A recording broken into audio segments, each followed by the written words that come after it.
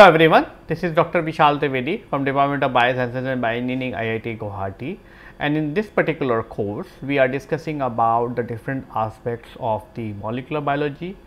So, so far what we have discussed, we have discussed about the basic structures of the uh, cell. So, we have discussed about the prokaryotic structure and the eukaryotic structures. Following to that, we have also discussed about the uh, different types of biomolecules, we discussed about the different types of cellular activities. And in the previous lecture we have discussed about the uh, central dogma of molecular biology. And we have also discussed about the uh, different components which are be a part of the central dogma of molecular biology. So, we have discussed about the replication in detail about uh, in the previous module and we have discussed about the replication in the prokaryotes and the replication in eukaryotes and then we also discuss about how the replication is helping the cell to recover from the different types of cellular damages or DNA damages actually. In the current module we are discussing about the another another important aspect related to the central dogma of molecular biology and that is the transcription. So, if you recall in the previous few lectures we have discussed about the, uh, the transcription in eukaryotes, uh, prokaryotes followed by the transcription in eukaryotes. And in the previous lecture we have discussed about the uh, how the post transcriptional modification is happening in the different types of RNA species what is going to be produced from the DNA and then how these uh, modifications are enabling these RNA species to work optimally for the protein production. Now, if you see the central dogma of molecular biology, what you see is that the ultimate goal of the central dogma of molecular biology is that it is want to produce a protein or I will say protein or the enzyme actually, right. And these proteins or the enzymes are actually going to participate into the different types of the metabolic reactions. Uh, for example, when we are discussing about the carbohydrate metabolism in the eukaryotic cells, uh, we discussed that the carbohydrates are actually uh, as soon as the glucose enter into the cell, right, it get phosphorylated by the hexokinase followed by the phosphorylation by the uh, different types of uh, followed by the uh, glucose 6 phosphate and other kinds of molecules and ultimately it is going to channelize that particular glucose molecule into the glycolysis. So, if the glucose if you see about the glucose metabolism glucose will enter and then it is actually going to be processed by the different types of enzyme to produce the uh, pyruvic acid right. And these cascades of the reactions are going to be called as the glycolysis which occurs within the cytosol. And uh, pyruvic acid then will enter into the Krebs cycle and ultimately it is actually going to produce the different amount of energy uh, and it is also going to produce the different types of intermediates which are actually going to be utilized for the different types of synthesis. So, Krebs cycle is going to provide the raw material for the synthesis of the different types of amino acids. Uh, Krebs cycle is going to provide the raw material to synthesize the hemine uh, which is a very very important component for the uh, blood synthesis right or in general I will say hemoglobin synthesis and then Krebs cycle is also important for the synthesis of the fat and as well as the nucleic acid. So, all these components are important because uh, because they are actually going to be required for running the different types of the life related activities.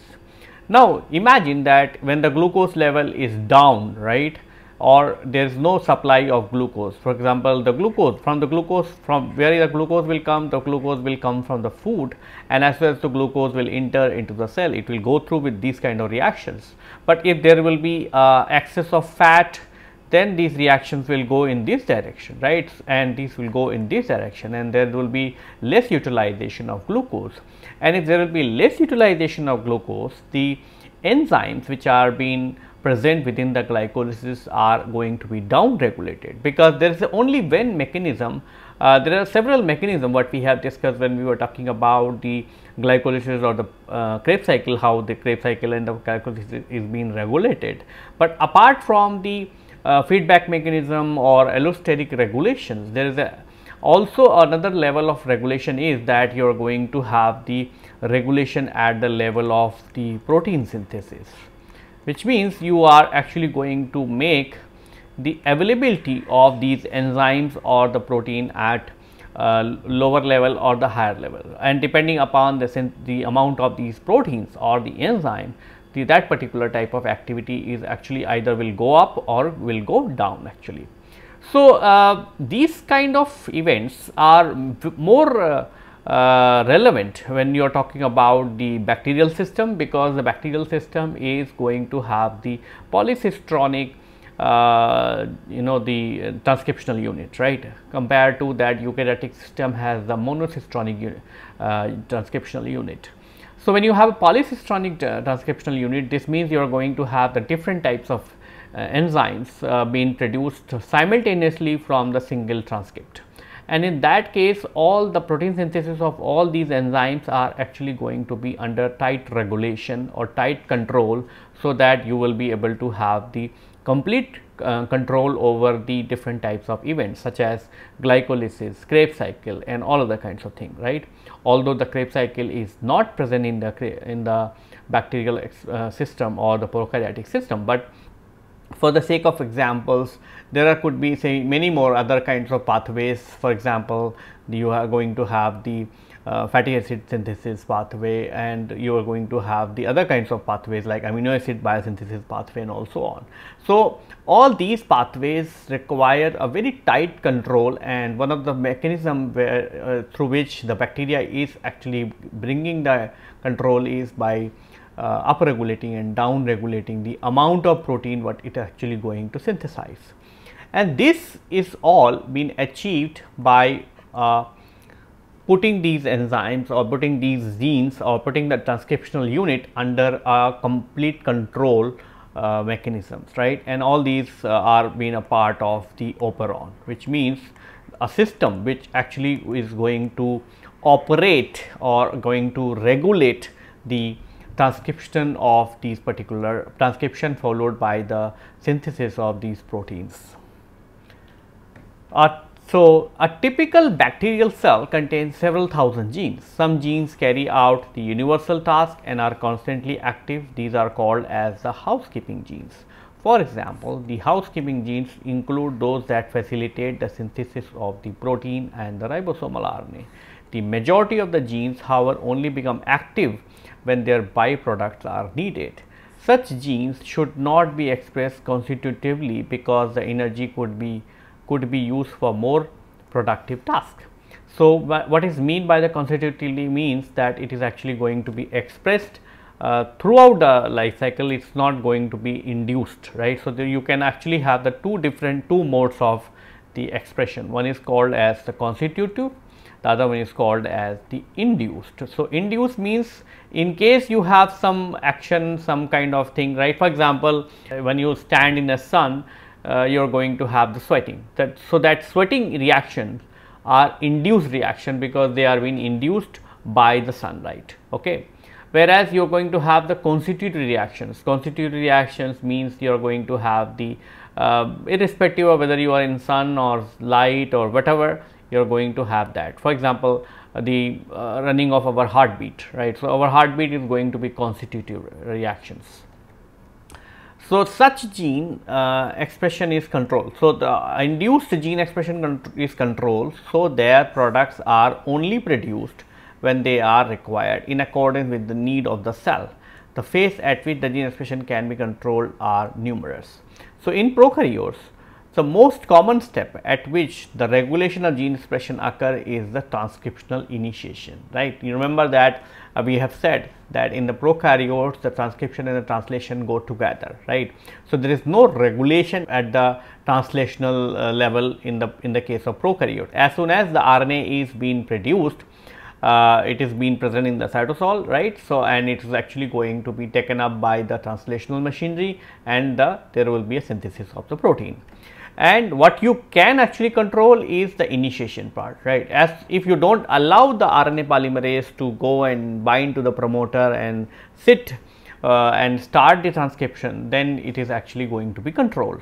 So, it is energetically the most efficient step to regulate the gene expression. The transcriptional regulation occur in step after initiation specifically during elongation and terminations. Prokaryotic transcriptional regulation is accomplished by the gene regulatory protein that bind with the regulatory sequence near the transcription start site of the transcriptional unit. Gene regulatory protein, the product of gene regulatory protein are of two types. They can be activators and they can be repressor. So, gene regulatory proteins or the gene regulatory uh, components are actually going to be the regulatory units which are going to regulate the efficiency of the RNA polymerase to go and sit onto the uh, transcriptional initiation site and that is how they are actually going to control the transcription. These gene regulatory proteins or the protein uh, gene products could be activators. So, that actually going to activate. So, they can actually be able to facilitate the RNA polymerase to go and bind to the initiation site or they could be repressors. So, that it, they are actually going to block. So, activator means they are actually going to activate repressor which means they are actually going to block or they are going to inhibit the process. In the absence of both activator and repressor, transcription carried out by RNA polymerase is called as the basal level of transcription. The, the binding of a repressor decreases the transcription less than the basal level. So, repressor is inhibitor, right. So, it is going to inhibit whereas the binding of an activator increases the transcription which is the above the base level. If both the road, both the repressor and activators are present and functional, the action of the repressor typically overtake over that the transcription. The basic concept of how gene regulation occur at the transcriptional unit in, in bacteria are provided by the classical model called the operon model. This is formulated by the Jacob and Monod in the 1961. So, how these repressor and the activators are regulating the gene expression uh, profiling and how they are actually regulating the transcriptional uh, activities within the bacteria is being uh, provided by a classical models and these models are called as the operon model and these models are hypothesized and formulated by the Jacob and Monod in the year of 1961. So, the question comes what is operon right so, operon uh, is a set of genes. So, operon is a genetic regulatory system mostly seen in the prokaryotes and the bacteriophage in which a group of structural genes are transcribed together under the control of a single promoter which means the operon technically the operons are overly been present in the polycistronic um, transcriptional unit and they are going to be present in the prokaryotes and the bacteriophage where you are going to have the group of structural genes or I will say the genes which is going to be transcribed for the different types of enzymes or the structural genes and they will be under the control of a single promoter. This means this single promoter is actually going to have the um, control over the synthesis of these structural genes. So, you are going to in a, in a typical operon you are going to have the oper, uh, promoter right? Next to the promoter you are going to have the operator. And the next to the operator you are going to have this is this is going to be the coding region right. So, this is going to be the coding region. And this coding region is going to be uh, responsible for so this is the coding region and then you are going to have the poly A site right so, the coding region is going to be responsible for the synthesis of the A protein, B protein and the C protein. So, generally operons are very common in prokaryotes and the bacteriophage, but it is also found in some eukaryotes. The main difference is that the expression of prokaryotic operon leads to the polycistronic messenger RNA, whereas the eukaryotic operons leads to the monocistronic messenger RNAs. In this particular lecture, we are mostly being focused on to the operon what is being present in the prokaryotic system. We have not discussed about the operons in the present in the uh, eukaryotic system. So, uh, the idea is that you should we should be able to tell you the concept of the transcriptional activations and transcriptional regulations and uh, uh, how the, the, things are being done uh, similar kind of things are also being done in the eukaryotic system. So, prokaryotes are the single cell organisms lacking a true nucleus and the membrane bound organelles it adopts the operon system as a mechanism to efficiently regulate the gene expression in response to the changing environment conditions. Uh, environment condition means the requirements of the different types of metabolites, uh, availability of glucose, availability of oxygen and so on. So, the bacteria is since, since bacteria is a single cell organisms, it actually gets affected very often, oftenly and it is actually has to respond to these changes. The uh, operon system is a genetic regulatory system found in the prokaryotic organism that allowed the multiple gene with the related function to be controlled as a single unit. The system offers different advantage for prokaryotes like it is energy efficient right because you are supposed to only synthesize the operator or the repressor and that actually is good enough to control and regulate the active transcriptional activity of several genes. So, operon system allows them to coordinate the expression of multiple gene involved in a common pathway and transcribe together as a single messenger RNA, saving the energy and resources by producing the necessary protein only when required. Uh, then it is actually going to have a rapid response to the environmental changes. So, the opera, operon system enable them to adapt to the changing conditions quickly. If condition change, the expression of the relevant gene can be turned on or off rapidly it's simple and compact right so prokaryotes can use a single regulatory region to control the expression of multiple genes this is particularly advantageous in a organism with a small genome where saving space is very very crucial so if you require uh, multiple genes as a regulatory genes and so on you are actually going to increase the size of the genome and that the bacterial system cannot afford because bacterial system has to conserve the energy, conserve the space and all those kind of things and that is why it is important that it should actually operate and control the multiple genes with the help of the operons. Then it has the coordinated regulations. It allows the bacteria to go with the coordinated regulation because it can regulate these three genes, four genes, five genes which are actually being present in the single pathway. For example, if you are talking about the glycolysis, you are going to regulate the hexokinase, you are going to regulate the pyruvate kinase and, and so on. So, since the all these genes are present in a single operon, probably it is easy for the bacteria to manage all these and on the other hand it is also going to save the energy. So, there will be a coordinated regulation. So, this coordinated regulation ensure that the product of genes these are produced in the appropriate stoichiometric ratio which means if you are processing the single glucose molecule you require one glucose molecule of hexokinase you require the one glucose uh, molecule of aldolase and so on.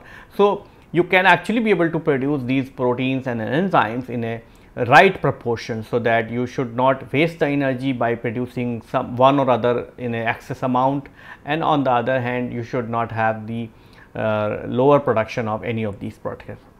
Then you have the resource allocations when a particular nutrient is available the genes required for the utilization are switched on. Once the nutrient becomes scarce the operation operate operon can be turned off preventing the wasteful production of the unnecessarily proteins. Then we have the adaptation to the niche uh, environment. So, the operon system enable the prokaryotes to adopt in a specialized niche by turning fine tuning the expression of genes that are specifically relevant to those conditions. So, this is also very very important that you are actually having a very very fine and uh, regulated uh, balance and that is how you can be able to have the uh, fine tuning of the expression of the genes that are relevant that particular for that particular uh, environmental conditions. Then you have the evolutionary advantage organisms with ability to regulate gene expression rapidly and efficiently in response to the environmental changes were more likely to survive and reproduce. So, uh, operon as I said you know is been proposed uh, by the Jacob and Monod and it has been uh, uh in, in a control mechanisms through which the prokaryotic through the prokaryotic system is uh, controlling the different types of gene and gene expressions within the bacteria. So, uh, in 1965 the Nobel Prize in Physiology and Medicine was awarded jointly to the Jacobs Monod, uh, Jacobs and Monod for discovery concerning the operon and the viral synthesis. So, this is the all scientists who have got the Nobel Prize in Medicine in the 1965 for their concept of the operon so, before we get into the detail of the operons and how and we are going to take up some of the examples of the operon, it is important to understand what will be the structure of general structure of an operon. So, this is just a general structure of the operon, right. You are going in the general structure what you are going to have, right. So, this is the transcriptional unit, right. This is the transcriptional unit where you are going to have the promoters, you are going to have the operators, you are going to have the structural genes. For example, in this case, this is a structural gene for A, B and C. And apart from that, you are also going to have the uh, regulatory genes. So, regulatory genes are actually going to be a part of uh, is going to produce the regulatory proteins uh, and going to produce the regulatory proteins. And these regulatory proteins could be uh, activators right? Or it could be repressor.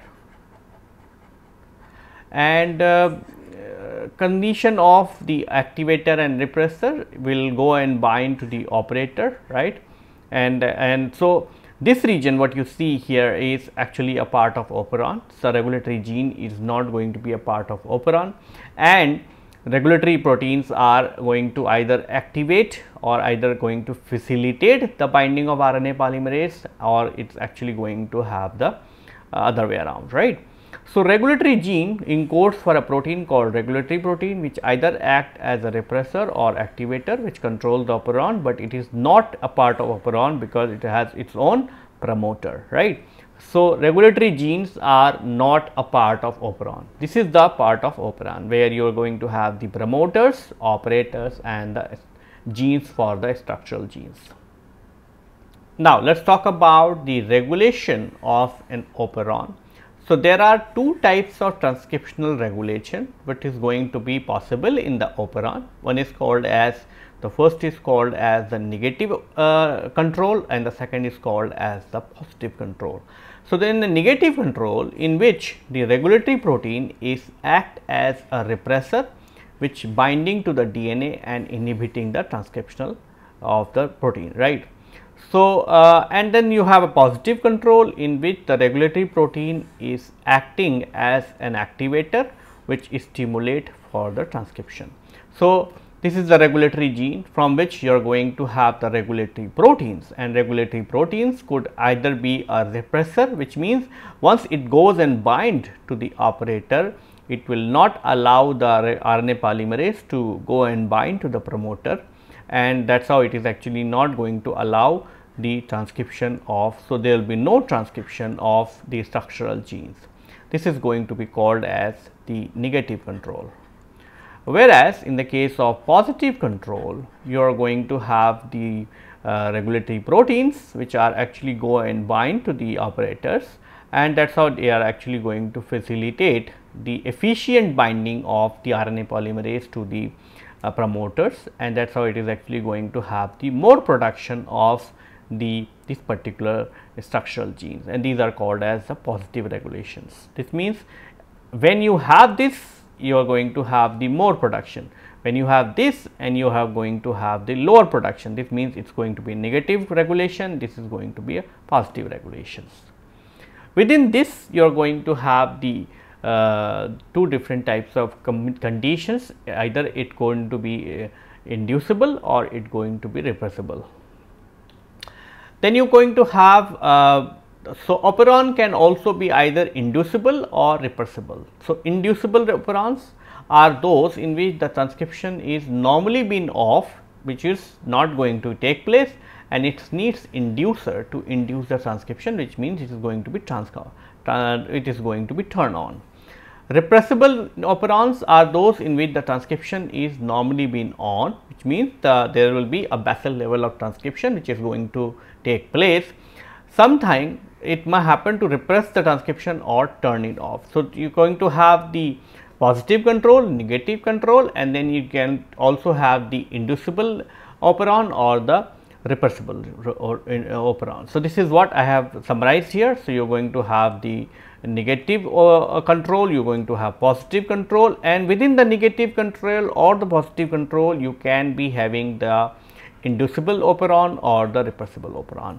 So, uh, in the negative control the product of the regulatory gene inhibits the transcription. In the positive control the production of regulatory gene is going to activate the transcription whereas in the inducible operon your initial condition or I will say the basal level of transcription is going to be off which means you are not going to have the transcription of that particular gene, but once this inducible inducer is present then you are going to have the uh, operon which is going to work. So, it is going to have the uh, turn on the transcription. Whereas in the case of repressible uh, initial condition the basal level there will be a transcription but when the irrepressible is present there will it is actually going to turn off the transcription.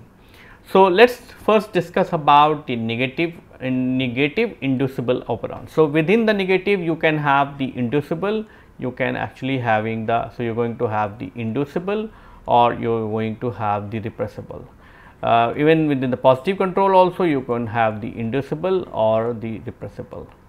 So, there are several different conditions in which all this has to be understood right.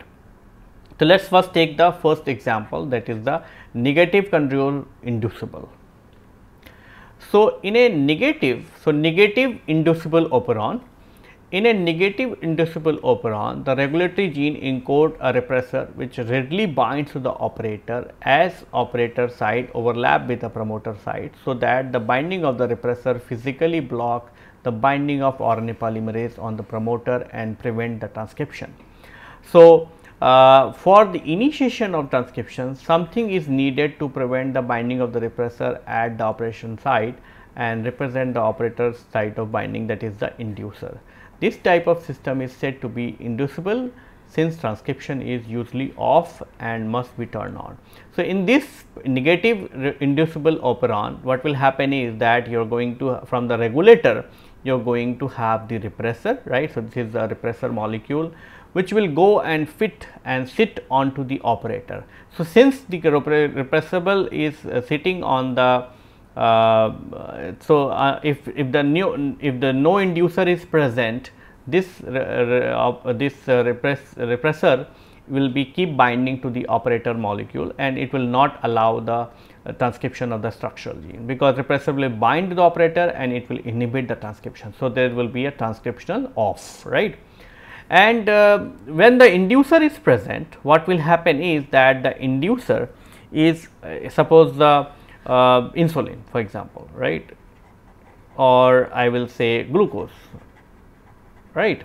If the glucose is present what will happen is that the glucose will go and bind to this repressor right and in that case it is actually going to make the active repressor to uh, inactive repressor and then the act inactive repressor would not be able to bind the operator and as a result it is actually going to allow the transcription of these particular structural genes. So, this is a example of or the mechanism in which the negative inducible operon is going to operate. Uh, we are going to take the few examples and then you will be able to understand this more nicely. And then we have the second condition. Second condition is that you are going to have the negative repressible operon, right. So, the regulator gene in this type of operon synthesizes and the inactive operon that cannot bind to the operator. So, RNA polymerase readily bind to the promoter without any inhibition and transcribe the structural genes to turn the uh, to turn the transcription uh, something must be needed to make the repressor active. A small molecule called a co-repressor binds to the repressor and make it capable of binding to the operator. So, in the absence of inducer regulatory genes are producing the repressor, but these repressors are inactive which means they will not be able to bind the operator and that is why there will be a transcription. So, transcription is on right. So, transcription is on uh, sorry transcription is on right under the basal level because your RNA polymerase will go and bind to the promoter there is no inhibition because the repressor what you are producing is inactive and that is why there will be a production of on right. So, there will be a transcription on.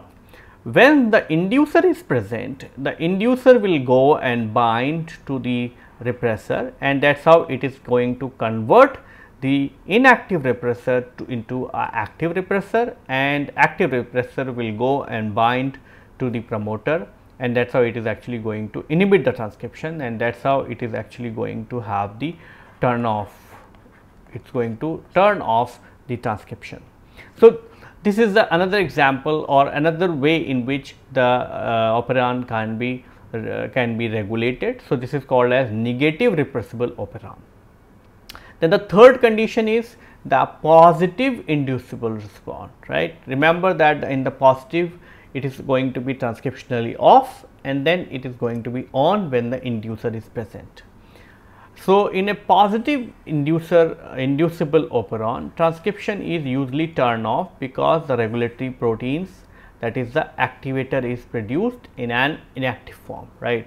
Remember that when you are talking about the positive regulation it is going to be inducer it is going to be activator rather than repressor. So, the negative control it is going to be done by the repressor whereas here it is going to be activator. So, whatever we have discussed in the case of negative uh, operons it is going to be exactly the reverse.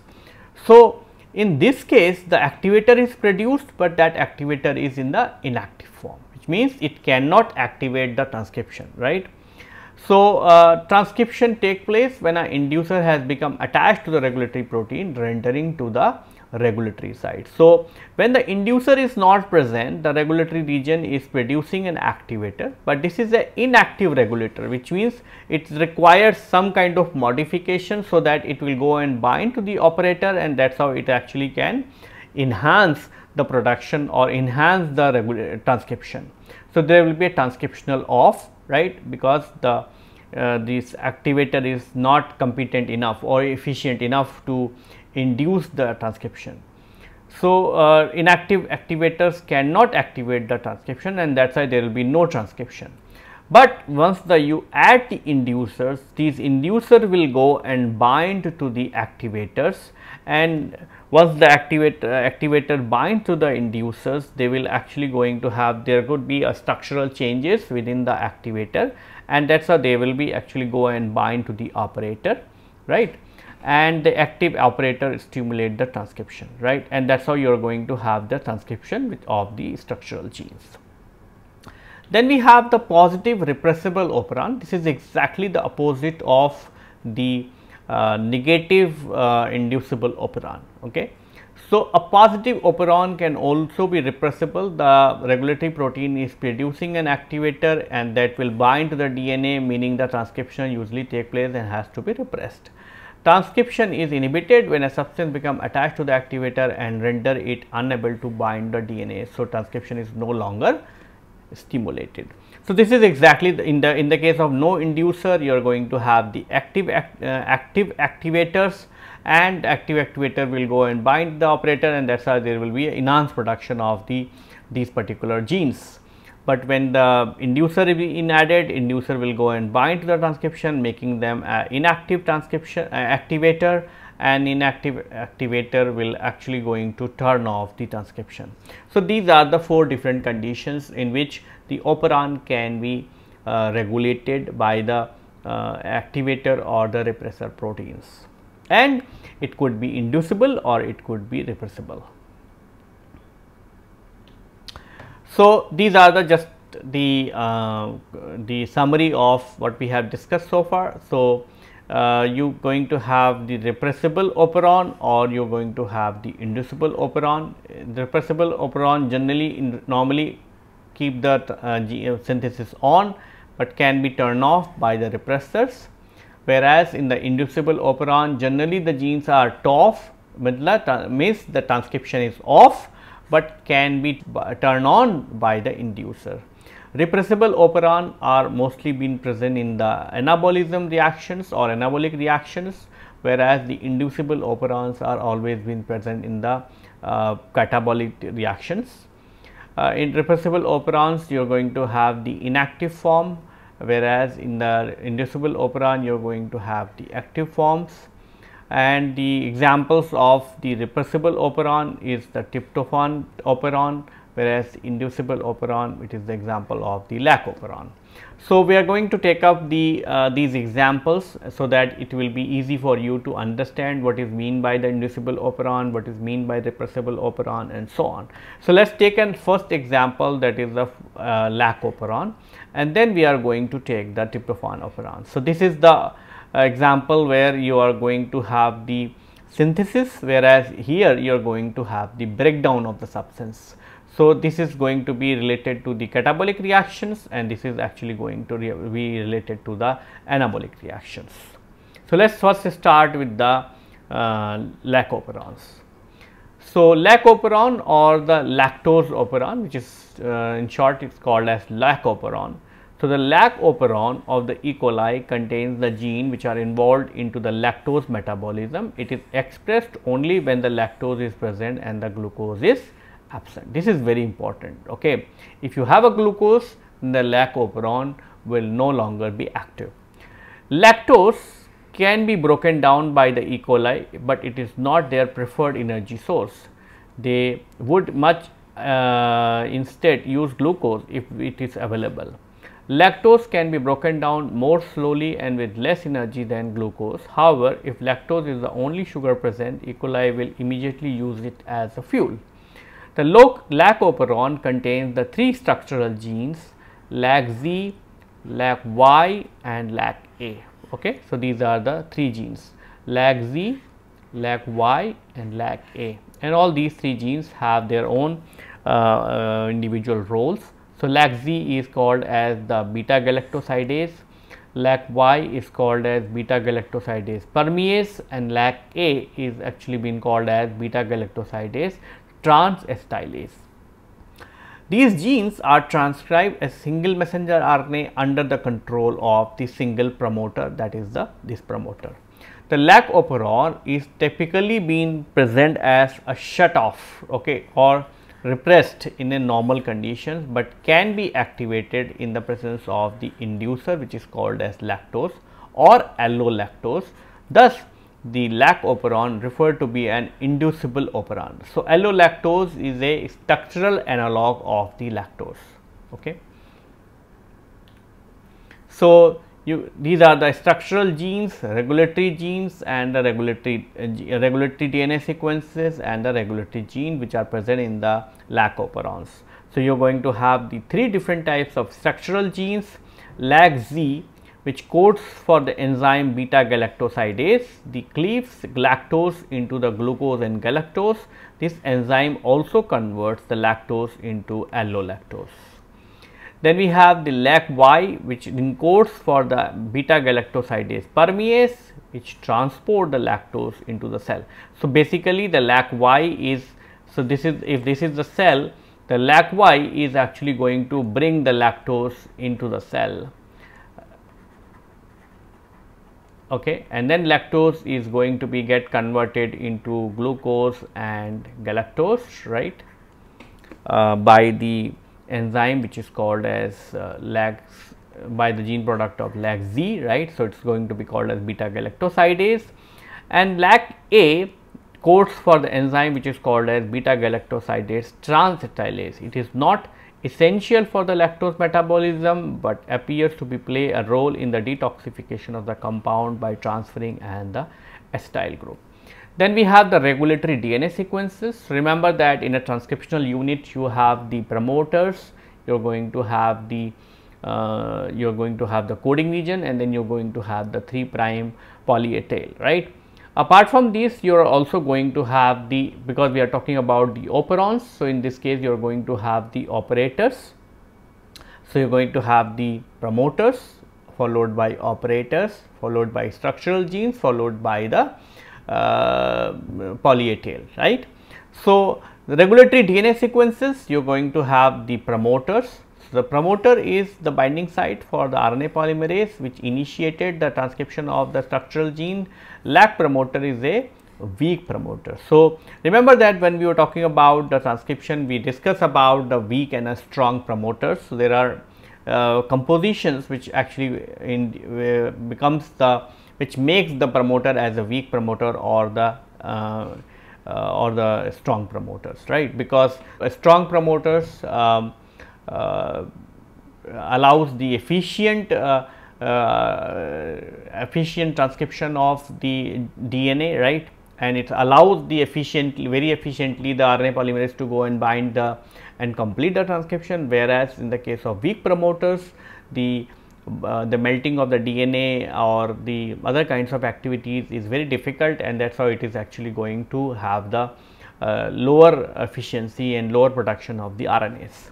Apart from that you are going so going to have the operators. So, the operator is a negative regulatory site bound with the lac repressor protein the operator overlap with the promoters.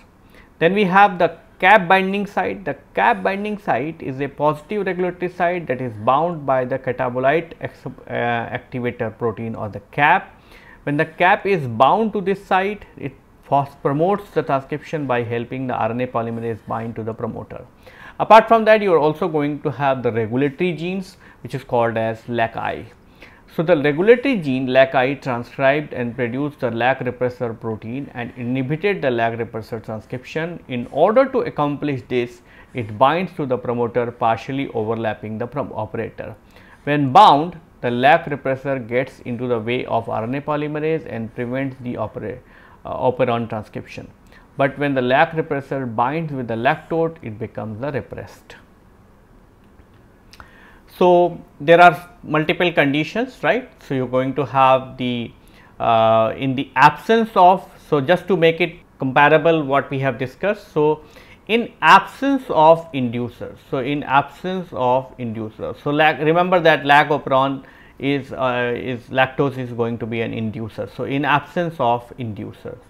So, in absence of inducer or in presence of inducer. So, when the lactose is not available which means the inducer is not available, the lac repressor strongly bind with the operator and stop the RNA polymerase from the initiation of transcription. However, the lac repressor loses its capability to bind DNA when the lactose is present. It leaves the operator and float away making it possible for RNA polymerase to transcribe the gene. So, if the lact uh, lactose is not present right then the what will happen is that the repressor will not be able to bind the operator okay? Uh, and uh, so if the lactose is not available right the repressor will go and bind to the operator. And since the repressor is binding to the operator it will not allow the RNA polymerase to go further to start the transcription. So, there will be no transcription of the structural gene of LAC-Z, Y and Z and when the allolactose is absent the repressor binds with the operator. So, the transcription cannot initiated by the RNA polymerase without any preventions. Now, when the lactose or the allolactose is available, so what will happen is these inducer will go and bind to the repressor, right. So, when they will go and bind to the repressor allolactose or the lactose, uh, it will they, they will no longer be able to bind the operator and as a result what will happen is that the RNA polymerase will move and it will actually going to do the synthesis of the structural genes and that is how they are actually going to produce the uh, beta lactosidase and other kinds of enzyme from these genes. So, when the allolactose bind with the lac repressors, the repressor cannot bind an operator. So, transcriptional initiation by RNA polymerase without any preventions so, some of the apart from the lactose or the allolactose, some of the allolactose analogs can also be used for the uh, for the lac promoters or the lac uh, operons.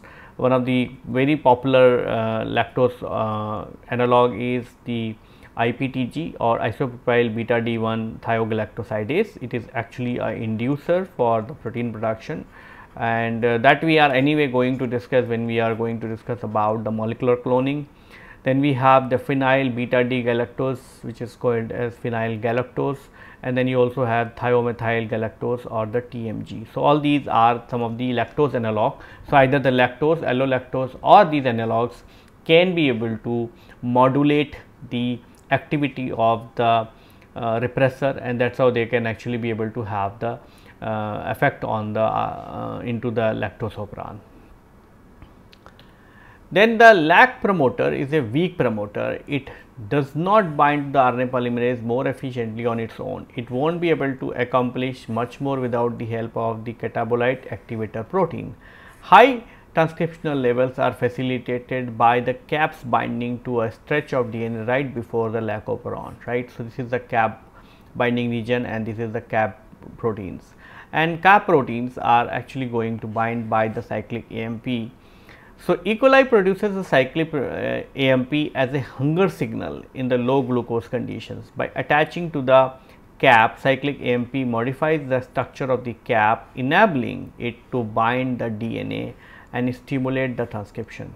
Cap is inactive without cyclic AMP. Only when the glucose levels are low, the cyclic AMP levels are very high, does CAMP actually activate. So, in the condition of low glucose, when the low when the when the when the condition is low glucose you are going to have the large quantity of the ADP and ADP is going to be get converted into AMP and this AMP is actually going to be get converted into cyclic AMP and the cyclic AMP will go and bind to the cap, cap region right. So, it is actually going to bind the cap proteins and uh, once they bind to the cap protein they are actually going to you know uh, they are actually going to uh, block the activity. So, when the cap attached to the cap uh, cyclic AMP attached to the cap and activate it allowing it to bind the DNA cap helps the RNA polymerase to bind to the promoter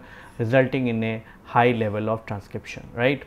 So, uh, in the in a in a state of starvation you are going to have a very high uh, amount of ADP and that ADP is getting converted into AMP and then the AMP is getting converted into cyclic AMP and in the case of low glucose this cyclic AMP will go and bind to the cap and as a result it actually going to activate and allowing it to bind the DNA and cap is actually going to help the promoter to bind the to the bind to the promoter and that is how they are actually going to have the high level of transcription of these genes when there will be a high glucose. So, in the case of high glucose there will be no production of cyclic AMP and that is how there will be no binding of cyclic AMP to the cap and as a result the cap will not going to help the RNA polymerase to bind to the promoter and that is why there will be a low level of transcription. So, there will be high amount of lac operon transcription are only possible without glucose. This method ensure that the bacteria only activate the lac operon and begin using the lactose after exhausting their primary energy source that is the glucose. So, if the glucose is present it is actually going to block or it is going to inhibit the lac operon activity simply because it is actually going to uh, does not allow the production of cyclic AMP and cyclic AMP is going to bind the cap uh, region or the cap proteins and that is how they are actually going to facilitate the binding of RNA polymerase to the promoter. So, uh, if we summarize all these conditions, what is the conditions? You are going to have the glucose absent, lactose absent, right. So, there will be no transcription, right. So, there are going to be four conditions. In four conditions, you are going to have in first condition, you are going to have the glucose absent, lactose absent. In those conditions, there will be no transcription of the RNA uh, the lac operon or there will be no lac operon activity because the lac operon inducer is also absent and the glucose is also absent. So, they still there although there will be a production of cyclic AMP because the glucose is absent, but since the lactose is also uh, absent the repressor protein will actually going to repressor repress the activity or repress the production uh, the production of RNA from the RNA uh, from the RNA polymerase. Now, the there will be a second condition. So, second condition would be that the glucose is absent, but the lactose is present right. In that condition there will be a high transcription right because the in the absence of glucose we discussed already right that the, from the ADP it is actually going to form the AMP and from the AMP it is actually going to form the cyclic AMP and the cyclic AMP will go into the cap and it will go and bind to the cap region of the DNA and that is how it is actually going to facilitate the promoter. And since the lactose is present lactose will also going to bind the repressor. And that is how it is actually going to remove the repression. And as a result uh, it is actually going to have the allow the RNA polymerase to go for the transcription and that is why there will be a high transcription level. Now, the third condition is that you are going to have the uh, glucose present and lactose absent right. So, if the glucose is present, uh, it is actually not going to allow the production of cyclic AMP and there will be a low level of cyclic AMP. So, that the cap will not going cap proteins will not be able to bind to the cap region and that is how the RNA polymerase will not be efficiently be able to bind to the promoter and that is how and on the other hand since the lactose is absent the repressor will actually going to bind and uh, it is going to uh, uh, you know allow the op, uh, operator right. So, it is going to allow the repressor to bind to the operator and that is why there will be no transcription. In the fourth condition, fourth condition both the biomolecule, both the molecules are present which means the glucose is also present and lactose is also present. In that case there will be a low level of transcription because since the lactose is so if the glucose is present there will be no cyclic AMP. So, it is not going to efficiently allow the binding of the cap proteins to the cap region of the DNA and that is how there will be a very low level of transcriptional activity from the RNA polymerase. Because the lactose is present it will actually going to bind the repressor and that is how it is actually going to destroy the inhibition of the operator and that is how it is going to allow the RNA polymerase to go but this level of RNA uh, transcription would be less compared to the transcription uh, activity what we have just observed in the condition number 2. So, uh, if we summarize all these activities, uh, uh summary would be that the lac operon contains the gene those are involved into the lactose metabolisms. Lac operon is a negative inducible operon. The genes are expressed only when the lactose is present and the glucose is absent. Remember, this is very important because the glucose is the primary metabolite and or primary metabolite preferred by the cell whereas the lactose is a secondary metabolite and it is not being preferred by the cell. So, it will not going to utilize the lactose until the glucose is absent and we have already discussed that when the glucose is absent it is going to have the synthesis of the cyclic AMP and the cyclic AMP will go and bind to the cap proteins and that is how the cap protein is actually going to help into the binding of RNA polymerase to the promoter site and that is how it is actually going to have the higher production of the uh, uh, protein synthesis. The operon is turned off in the normal conditions the operon is turned on and turned off depending upon the glucose and lactose level, the catabolic activator protein and the lac repressor. The lac repressor blocks the transcription of the operon by binding with the operator. In the absence in the presence of lactose, it stops acting as a repressor. So, catabolite activator protein act as an enhancer, activate the transcription of the operon, but only when the glucose levels are low. So, these are the four conditions what we have already discussed. If we have the glucose, we have the no lactose, then there will be no transcription, right? Because the glucose is present and it is uh, going to inhibit the activity of the cyclic production of cyclic AMP. Then you can have the uh, both glucose and lactose present, then it will be having the low level of transcription then you third condition where the glucose is also absent and lactose is also absent then there will be no transcription and then the fourth condition is that the glucose is absent but the lactose is present. So, in that case there will be a production of cyclic AMP and the cyclic AMP will allow the binding of the uh, cap proteins to the cap region of cap region and that is how it is actually going to uh, facilitate the binding of the RNA polymerase to the promoter and that is why there will be a high level of transcription. And because the lactose is also present, it will actually going to block the repressor and LAC-I right and that is how it is actually going to have the high level of uh, transcription. So, this is the summary of the lac operon. So, with this I would like to conclude my lecture here. In a subsequent lecture, we are going to discuss some more aspects related to molecular biology. Thank you.